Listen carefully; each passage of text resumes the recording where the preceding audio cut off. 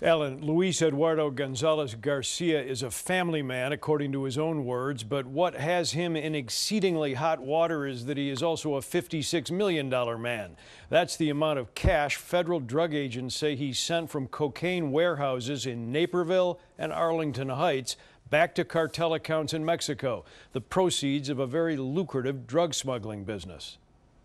The spoils of a spoiled drug magnate, yachts in tropical places, expensive gold watches, fancy SUVs, toasting the high life on horseback.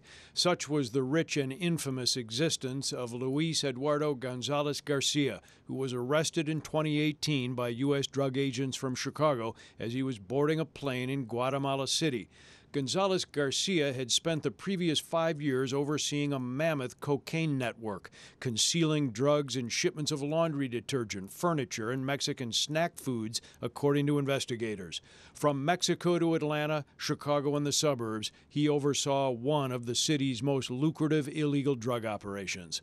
A warehouse in Arlington Heights raking in $12 million in cash shipped back to Mexico, a similar suburban warehouse in Naperville yielding 32 million. There are direct ties to the Mexico-based cartels like the Sinaloa cartel and the New Generation cartel and direct activity between the cartels and distribution in Chicago. Gonzalez Garcia was brought here to the Metro Correctional Center in Chicago after his arrest, and he eventually pleaded guilty, expecting a reduced sentence for his goodwill.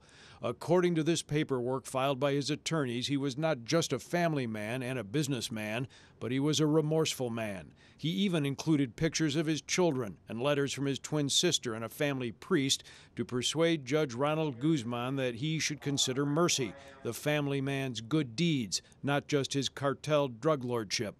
Gonzalez Garcia asked for the minimum 10 years in prison. But Judge Guzman went the other way 30 years behind bars and a $1.5 million fine. The $56 million man tonight says he got into the cocaine trafficking business when his tomato growing operation went bad and he became clouded in bad judgment, to use his words in the court filing.